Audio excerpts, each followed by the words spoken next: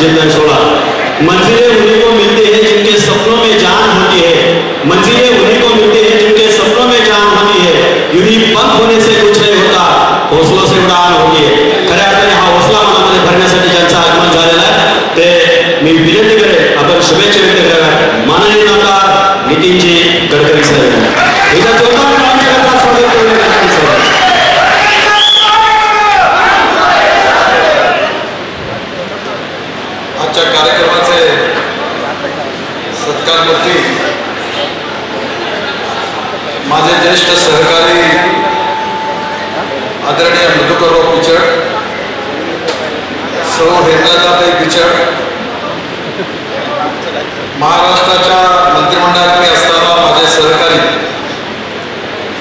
आणि या जिल्ह्यात सहकार क्षेत्रात त्यांनी अतिशय उत्तम कार्य केलेलं आहे. असे माझे मित्र आमदार राधाकृष्ण विखे पाटील.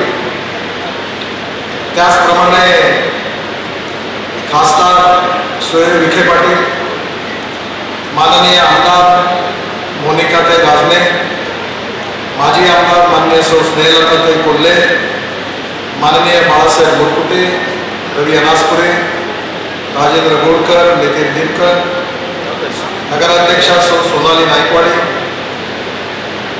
श्री वैभव पिचड सर्व मंचावरचे उपस्थित पदाधिकारी आणि उपस्थित बंधूंनो आणि भगिनी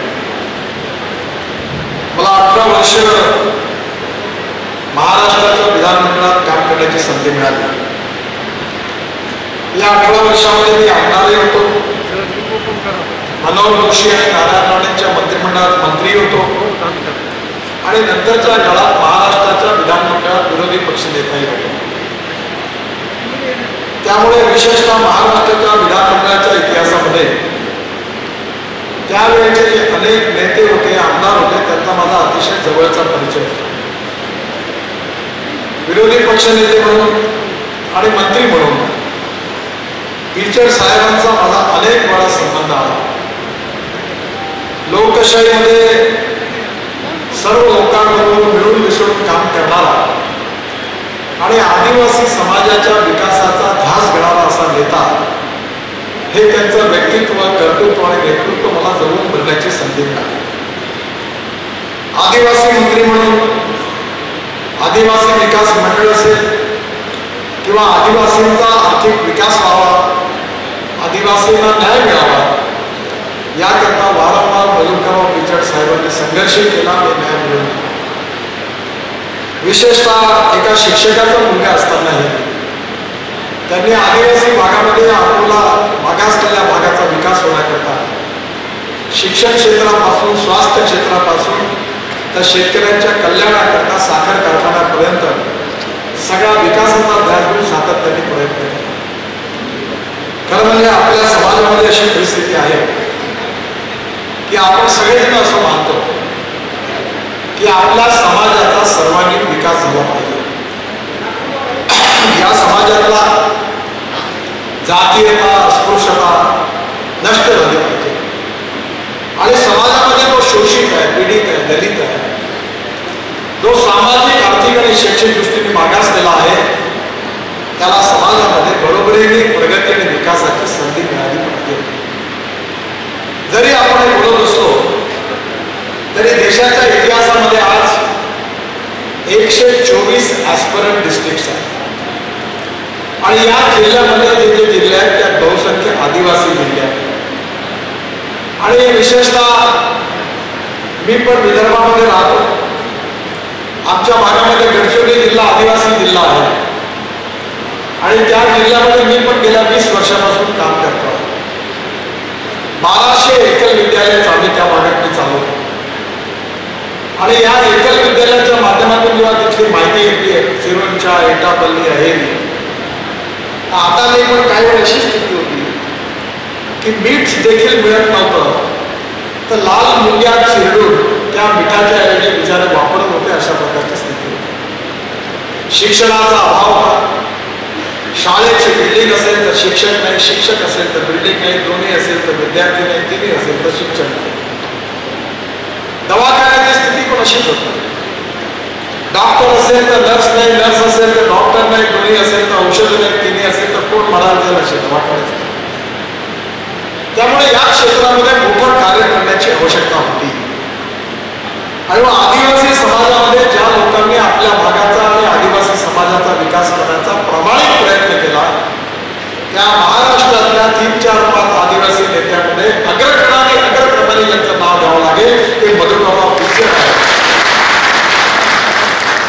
म्हणून आज मी त्यांचे माझे जुने व्यक्तिगत संबंध लक्षात घेऊन त्यांना शुभेच्छा देण्याकरता त्यांचं अभिष्ट चिंतन करण्याकरता मुद्दामून आज या कार्यक्रमाकरता आलो त्यांनी ऐंशी वर्ष पूर्ण केलेली आहे आपल्या संस्कृतीमध्ये जेव्हा कुठलाही व्यक्ती ऐंशी वर्ष पूर्ण करतो त्याचं सहस्त्र दर्शन असं म्हटलं जातं. आणि या एक्क्याऐंशीव्या वर्षात त्यांचं पदार्पण आणि पन्नास वर्ष त्यांनी विकास कर्म म्हणून देखील काम केलेलं आणि म्हणून आज विचार साहेबांची जी एक पिढी होती त्यांनी प्रामाणिकपणे या विकासाकरता प्रयत्न केला. फरक पडलेला आहे. त्यांच्या प्रयत्नामधून चांगलं परिवर्तन आलेलं आहे. परंतु अजून काम करण्याची आवश्यकता त्याचं कारण असं की जो प्रयत्न ग्रामीण भागातल्या आदिवासीच्या तरुण मुलाच्या हाताला काम मिळत नाही. त्याला त्या ठिकाणी रोजगार मिळत नाही. आणि त्याची गरिबी आणि भूकमारी दूर होत नाही. तेव्हा खऱ्या अर्थाने कार्य पूर्ण झालं असं म्हणता येणार नाही. आणि म्हणून या समाजातले शोषित पीडित आणि दलित जे लोक आहेत त्यांची सर्वांगीण प्रगती उन्नती आणि विकास करण्याची जबाबदारी संपूर्ण समाजाची आहे. मी नेहमी एक गोष्ट लक्षात ठेवतो. आणि त्याचं राजकीय जीवनात देखील अनुकरण करतो आणि ती गोष्ट महत्वाची अशी आहे की कोणीही माणूस हा त्याच्या जातीने पंथाने धर्माने किंवा सेक्सने मोठा नाही आहे. कोणी माणूस जर मोठा असेल त्या कर्तृत्वाने मोठा आहे त्याच्या कार्याने मोठा आहे हेच खऱ्या अर्थाने सत्य छत्रपती शिवाजी महाराज कोणा एका जातीचे नेते नाही बाबासाहेब आंबेडकर हे कोणा एका जातीचे महात्मा ज्योतिबा फुले हे जातीचे नेते नाही किंबहुना महाराष्ट्राच्या इतिहासामध्ये साहित्य संस्कृती आणि इतिहासामध्ये विशेषतः संतांनी जे कार्य केलं ते तुकाराम महाराज असतील ज्ञानेश्वर महाराज असतील तुकडोजी महाराज असतील गाडगे महाराज असतील त्यांच्या कार्याकडे बघून आपण त्यांची भक्ती करतो कधी त्यांची जात विचारत नाही आणि येणाऱ्या काळामध्ये जाती विरहित सामाजिक आणि आर्थिक समता प्रस्थापित रचना उभी करणं. ही सगळ्यांची जबाबदारी आहे. आणि हे जर पूर्ण करायचं असेल, तर समाजातला जो शोषित आहे, पीडित आहे, दलित आहे. ज्याला राहायला घर नाही आहे ज्याच्या अंगावर कपडे नाही आहे ज्याला खायला अन्न नाही आहे त्या व्यक्तीला जोपर्यंत रोटी, कपडा आणि मकान मिळत नाही, तोपर्यंत हे कार्य संपणार नाही. आणि म्हणून शिक्षणाच्या क्षेत्रामध्ये, स्वास्थ्य क्षेत्रामध्ये आणि विकासाच्या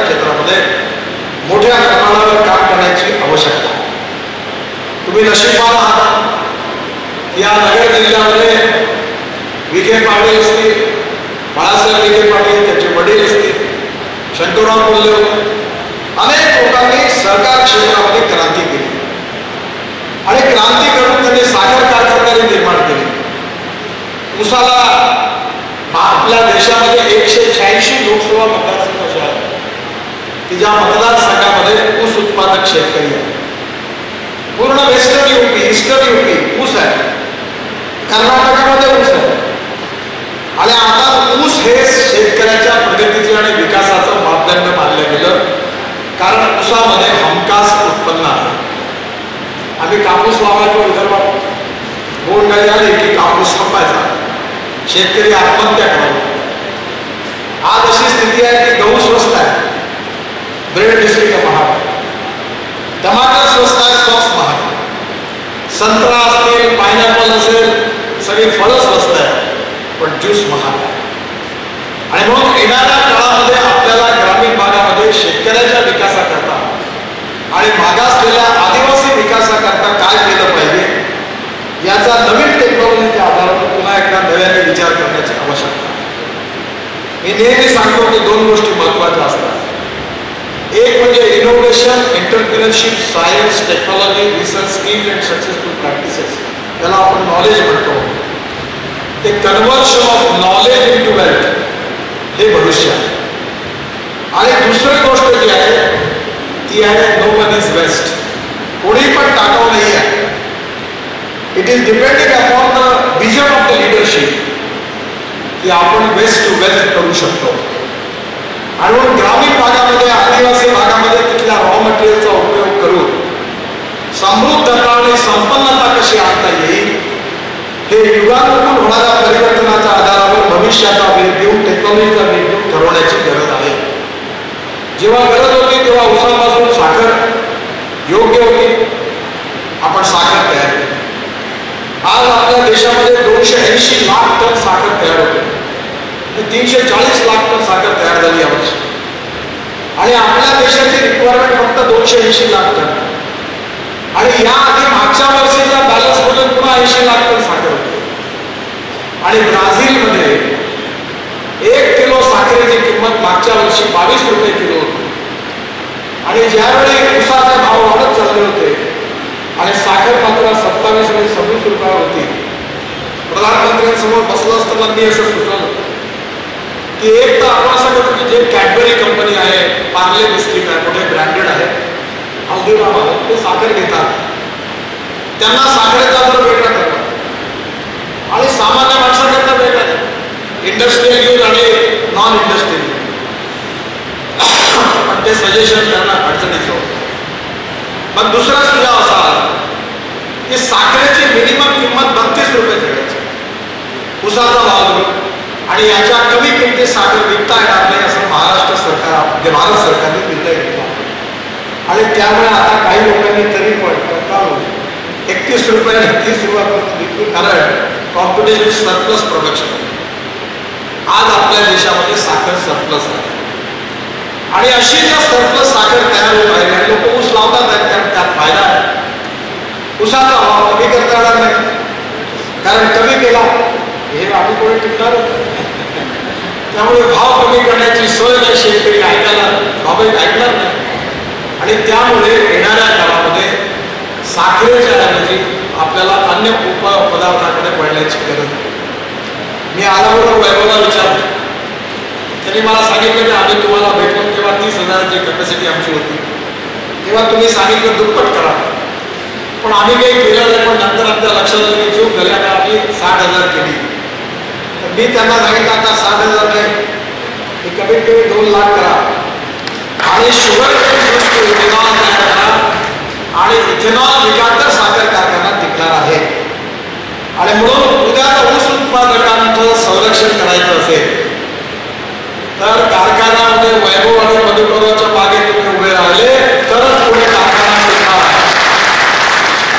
मी काही त्या प्रचाराकरता बोलणार नाही पण एवढंच तुम्हाला सांगणार टीचर साहेबांच्या मागे उभे राहिले तर कारखान्याचा विकास होईल आणि कारखान्याचा विकास झाला तरच ऊस विकत घेतला जाईल आणि ऊसाची किंमत लगेच मिळेल. नाही का घोटाळा झाला? अनेक कारखाने जसे बंद झाले. तसे याची हालत मी गंभीर येते म्हणतो पण मला मी तीन साखर कारखाने चालवतो. तर तुमच्याकडे पण चांगला सांगितलं पश्चिम महाराष्ट्र म्हणजे मेरिट मधल्या विद्यार्थ्यांची शाळा. मराठवाडा म्हणजे फर्स्ट क्लासमध्ये पास झालेल्या विद्यार्थ्यांची शाळा. आणि विदर्भ म्हणजे ज्यांना शंभर पैकी वीस पेक्षाही कमी मार्क मिळाले अशा शंभर टक्के विद्यार्थ्यांची शाळा त्यामुळे मी नेहमी म्हणतो की पुढे मला मिळायला पाहिजे पण मी ठरवलं की आपण याच्यातून काही करून विजय मिळवायचा मी तेरा वर्ष झाले कारखान्यात आलो पण खूप कस निघाला पण आता मी या वर्षी पहिल्यांदा प्रॉफिटमध्ये आलो. आणि म्हणून मी तुम्हाला एक गोष्ट सांगतो की जो मागचा जर मी पाप करतो तो दोन गोष्टी मी करत असतो गमतीने सांगतो जो पाप करतो तो या जन्मी साखर कारखान्यात टाकतो नाही तर वर्तमान पण आता बाय प्रॉडक्ट वीज आणि इथेनॉल आणि आता इथेनॉल तयार करत असताना जो स्पेट वॉश आहे तो बॉयलरमध्ये जाळल्यानंतर पोटॅश निघतं आपल्याला माहिती आहे आपलं एनपीके खत आहे पोटॅश आपण एक्सपोर्ट करतो. त्यामुळे भारत सरकारने आता पोटॅशला तीस ते बत्तीस रुपये किलो किंमत दिलेली त्यामुळे हे स्पेट कॉस्ट जाणून जर पोटॅश याला तर ते विकत घ्यायला तयार आहे त्यातून पुन्हा पाच सात कोटी वर्षाचे निघतील आणि आता त्याच्यानंतर पलीकडली गोष्ट जी आहे ती आहे ग्रीन हायड्रोजन पाण्यामधून ऑक्सिजन आणि हायड्रोजन वेगळा काढून हायड्रोजनवर आता गाड्या चालणार आहे ट्रक चालणार आहे विमानं चालणार आहे रेल्वे चालणार आहे फॅक्टरी चालणार आहे बॉयलरमध्ये कोळशा गिरणी आता ग्रीन हायड्रोजनवर चालणार आहे फार्मास्युटिकल केमिकल तिने सगळ्या ठिकाणी. आणि म्हणून मी शेवटी कट्टाव लोकांना मी एक दिवस माझ्या बायकोने मला प्रश्न विचारला. तुम्ही कसं सांगताय की पाण्यातील हायड्रोजन निघण्याने गाडी चालवली? माझाच तुमच्या बोलण्यावर विश्वास नाही आहे त्या जनतेचा कसा होतो तेव्हा माझ्या लक्षात आलं की आपल्यामध्ये जनतेमध्ये अंतर बरत मी टोयॅटो कंपनीची गाडी तिचं नाव आहे भविष्य जपानी नाव वेगळं आहे. ती गाडी आणली. आणि आता मी दिल्लीमध्ये हायड्रोजनवर चालणाऱ्या गाडी फिरतो आणि लोकांना हे बघा ही गाडी. मर्सिडीज पेक्षाही चांगली आहे. धुरे निघत आणि स्वस्त. आणि आता मी विखे पाटलांना सांगितले की आता तुम्ही एवढी क्रांती केली आता पुढे टेक्नॉलॉजी पुढे जा. आता हे वरती रूप आहे सुंदर मंगल कार्य ग्रीन हायड्रोजन तयार करण्यामध्ये सत्तर टक्के किंमत विजेची आहे. याच्यावर सोलर रूपटॉप टाकायचा. कारखान्यावर सोलर रूपटॉप कारखान्यातलं शुद्ध पाणी आपल्याला लागतं बॉयलर करतं ते शुद्ध करून घ्यायचं. सव्वा कोटी रुपयाला एक इलेक्ट्रोलायझर मिळतो त्याच्या आता खूप फॅक्टरी ओपन होतात आहेत तुम्हीच बंगलोरमध्ये आता एक फॅक्टरी ओपन केली. त्याचं नव्वद टक्के प्रोडक्शन अमेरिकेत चाललं आहे. आणि ते ग्रीन हायड्रोजन आपल्या इथे लावून एक जनरेटर बसवायचा. तो किर्लोस्करला मी सांगितलं की त्या डिझेल नाही इथेनॉलवर पाहिजे. आणि त्या जनरेटरमधून पाहिजे ऑक्सिजन हायड्रोजन तयार होईल आणि त्या जनरेटरने तो पाचशे बारपर्यंत कॉम्प्रेस करायचा. आणि त्याच्यावर ट्रक बसेस ट्रॅक्टर चालवायचे.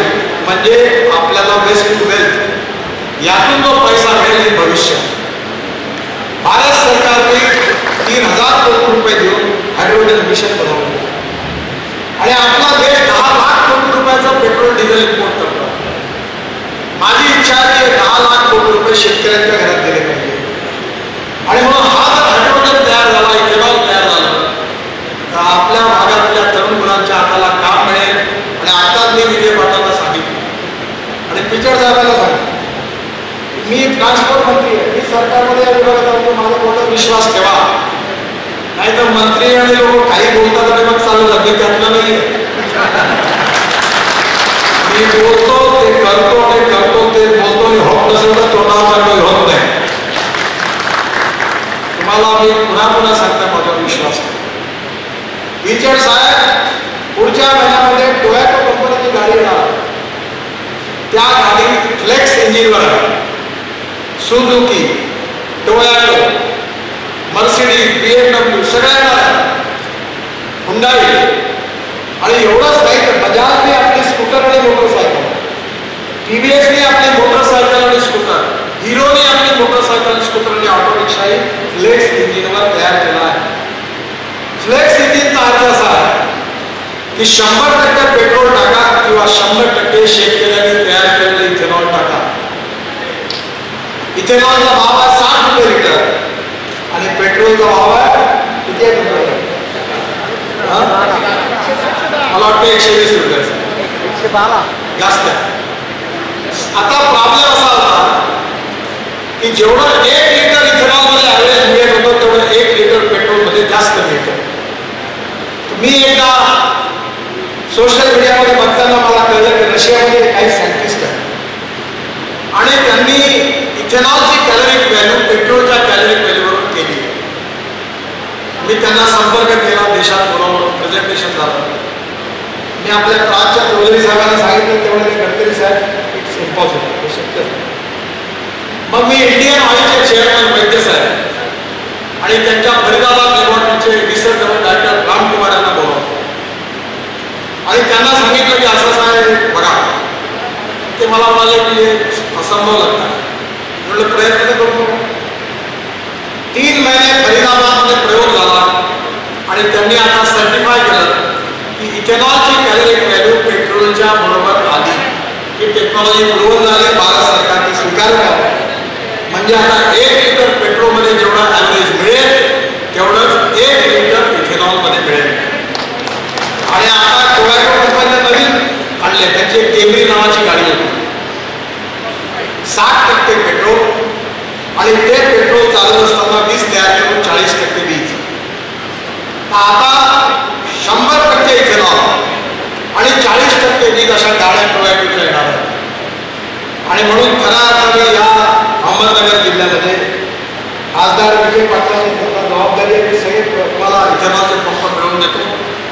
आणि आता या जिल्ह्यामध्ये पेट्रोलला हद्दपार करा.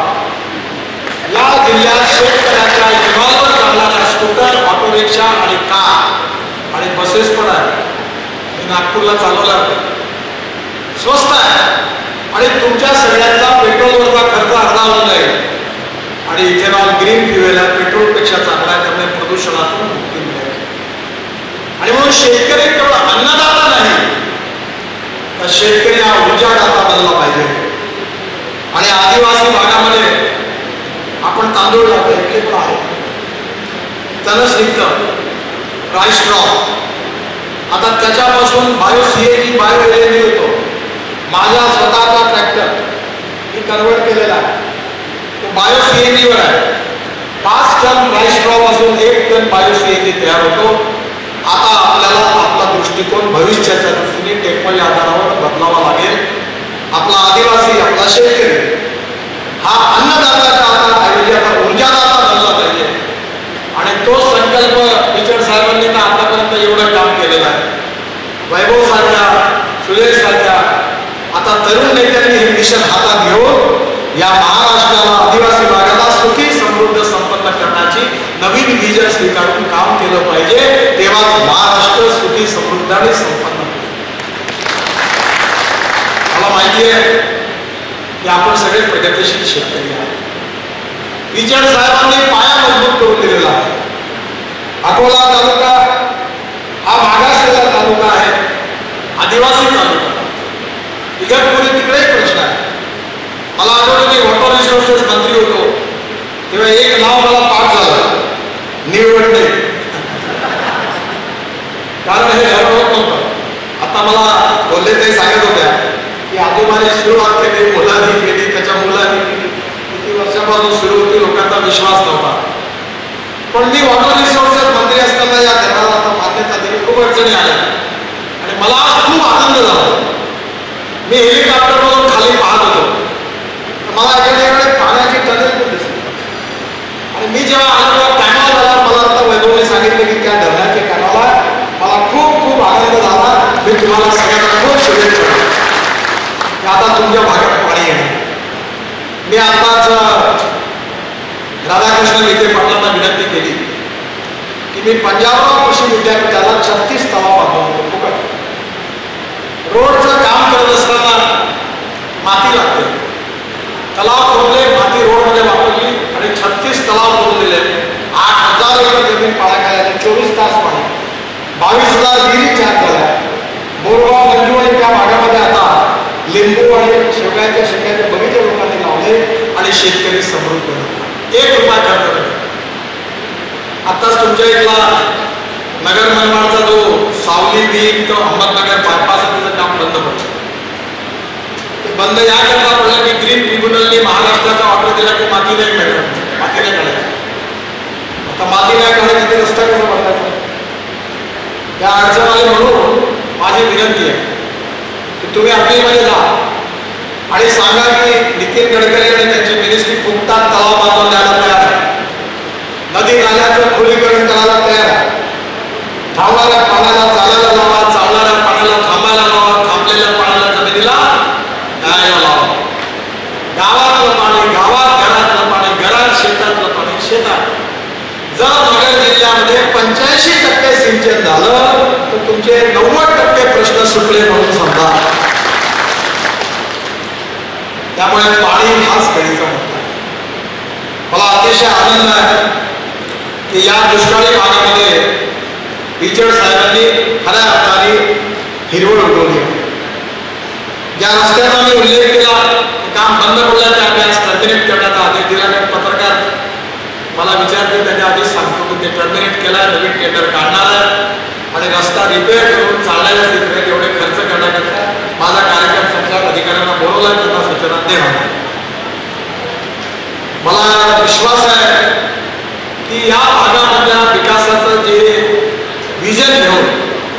टीचर साहेबांनी आजपर्यंत काम केलं त्याचं ऋण व्यक्त करण्याकरता त्यांच्यावरचं प्रेम व्यक्त करण्याकरता आपण सगळेजण इथे आला मी त्यांचा सहकारी म्हणून त्यांच्याबरोबर काम केलं म्हणून त्यांचे माझे व्यक्तिगत जिव्हाळ्याचे संबंध म्हणून त्यांना दीर्घायुष्य शक्यतो आणि परमेश्वराने या भागातल्या आदिवासींची सेवा करण्याकरता त्यांना उदंड आयुष्य द्यावं शक्ती द्यावी त्यांची प्रकृती चांगली ठेवावी. आणि त्यांच्या हातून अशी सेवा घडत राहावी अशा शुभेच्छा देतो. आणि पुन्हा एकदा त्यांचं अभिनंदन करतो. आणि त्याचबरोबर त्यांच्या आयुष्यात हेमलता त्यांनी त्यांना जे सहकार्य केलं त्यांनाही पण शुभेच्छा देऊन मी माझं बोलणं संपवतो. धन्यवाद. नमस्कार. दोन मिनिटं सर्वांनी बसावं. आभार प्रदर्शन करण्यासाठी आदरणीय जिल्हाध्यक्ष सन्माननीय जालिंदरजी वागचौरे यांना विनंती की आपण आभार व्यक्त करावा. आजच्या या मधुकरराव पिचड साहेब यांच्या अभिष्ट चिंतन सोहळ्याला मुद्दामून आलेले राष्ट्रीय नेते माननीय नेताजी गडकरी साहेब जिल्ह्यातून आलेले सर्व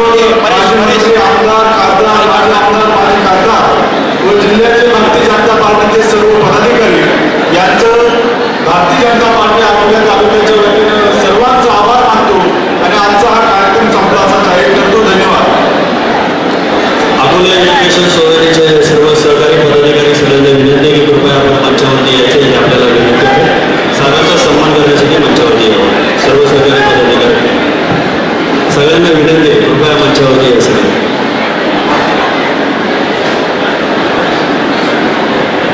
त्यांना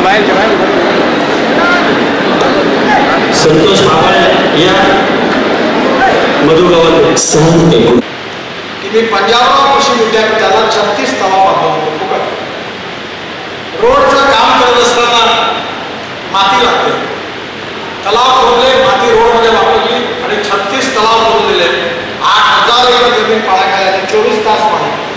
बावीस हजार विहिरी चार झाल्या बोरगाव आणि त्या भागामध्ये आता लिंबू आणि शेवगाच्या शेवग्याचे बगीचे लोकांनी लावले आणि शेतकरी समृद्ध एक रुपया खर्च आताच तुमच्या इथला नगर मनमाडचा जो सावली बीड अहमदनगर बायपास काम बंद पडलं ते बंद याकरता पडलं की ग्रीन ट्रिब्युनलने महाराष्ट्राचा ऑर्डर दिला की माती नाही मिळणार माती नाही काढायची आता माती नाही काढायची ते रस्ता कसा या अडचण आली म्हणून माझी विनंती आहे की तुम्ही अपीलमध्ये जा. आणि सांगा की नितीन गडकरी आणि त्यांची मिनिस्ट्री फुकटात तलाव बांधून द्यायला तयार आहे?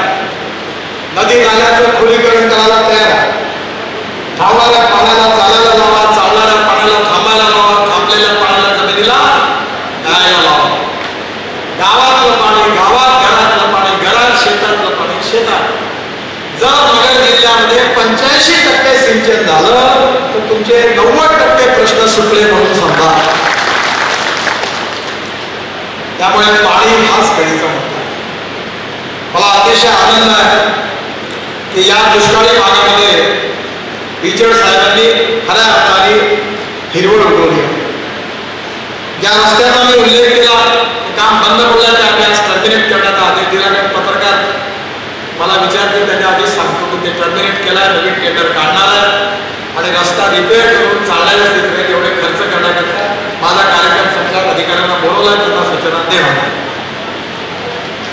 मला विश्वास आहे की या भागामधल्या विकासाचं जे विजन घेऊन इचर साहेबांनी आजपर्यंत काम केलं त्याचं ऋण व्यक्त करण्याकरता त्यांच्यावरचं प्रेम व्यक्त करण्याकरता आपण सगळेजण इथे आला मी त्यांचा सहकारी म्हणून त्यांच्याबरोबर काम केलं म्हणून त्यांचे माझे व्यक्तिगत जिव्हाळ्याचे संबंध म्हणून त्यांना दीर्घायुष्य शक्यतो आणि परमेश्वराने या भागातल्या आदिवासींची सेवा करण्याकरता त्यांना उदंड आयुष्य द्यावं शक्ती द्यावी त्यांची प्रकृती चांगली ठेवावी. आणि त्यांच्या हातून अशीच सेवा घडत राहावी अशा शुभेच्छा देतो. आणि पुन्हा एकदा त्यांचं अभिनंदन करतो. आणि त्याचबरोबर त्यांच्या आयुष्यात हेमलता त्यांनी त्यांना जे सहकार्य केलं त्यांनाही पण शुभेच्छा देऊन मी माझं बोलणं संपवतो. धन्यवाद. नमस्कार.